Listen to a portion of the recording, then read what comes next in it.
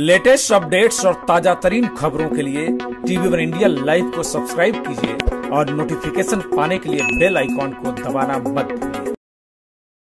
इंटक के नईबई जिलाध्यक्ष और कांग्रेस नेता रविंद्र सावंत ने आज मनपा कामगारों की विविध समस्याओं को लेकर आयुक्त अभिजीत बांगर से मुलाकात की और उनके समाधान की मांग की। उन्होंने आरोग्य, शिक्षण और मुख्यालय में कार्यरत कॉन्ट्रैक्ट और नियमित कामगारों के वेतन भत्ते और अन्य मामलों पर भी चर्चा की। और सकारात्मक निर्णय की अपील की। देखिए रिपोर्ट।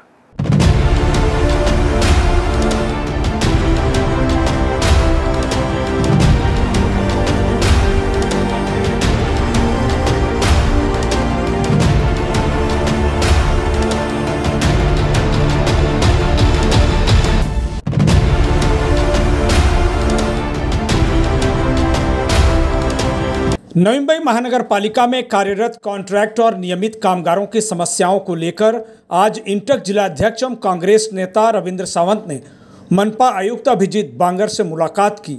इस अवसर पर कर्मचारी संगठन और इंटक के कई पदाधिकारी भी मौजूद थे। कामगार नेता रविंद्र सावंत ने यहाँ मनपा के आरोग्य, शिक्षण, परिवहन और मुख्यालय में विभिन्न उपक्रमों में कार्यरत कर्मचारियों के वेतन भत्ते एवं सेवा सुविधाओं से जुड़े विविध मुद्दों पर विस्तार से चर्चा की। और उनके जल्द समाधान की मांग की।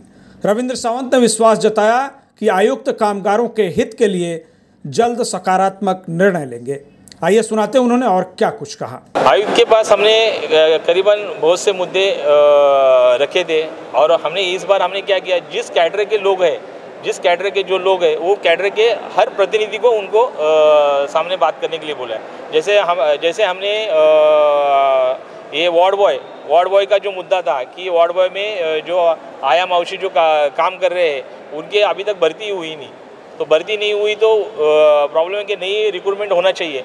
इसके लिए हमने नई भर्ती करने के लिए मांग की है उनकी और और मांगे जो एक्स्ट्रा लेबर उनको जो लगेगा कामगार लगेगा वो उनकी उनके लिए मांग। की ड्राइवरों का सब्जेक्ट था, जो ड्राइवर एंबुलेंस पे होता है, वो अकेला ही पेशेंट को लेके के एम साइन हॉस्पिटल में जाता है।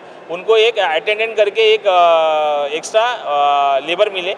एजुकेशन डिपार्टमेंट में जो प्रस्ताव हमने भेजा था, ये जो शिक्षक है, जो ठोक मानन के शिक्षक है, उनको परमानेंट करने के लिए प्रस्ताव हमने वापस वापस भेजने के लिए बोला है, वो नगर विकास में। पिछले बार शिक्षण विभाग में भेजा था। शिक्षण विभाग से, शिक्षण विभाग बोला, ये जो उनको परमानेंट करना है तो नगर विकास विभाग में प्रस्ताव भेजना चाहिए। और वो भी हो गया, वापस जो कंत्राटी कामगार है, जो कंत्राटी कामगार है, उनको भी समान काम, समान वेतन लागू करो, उसका भी प्रस्ताव जल्द से जल्द वो यहाँ पे नगर विकास में भेजे। Bureau report, TV one India.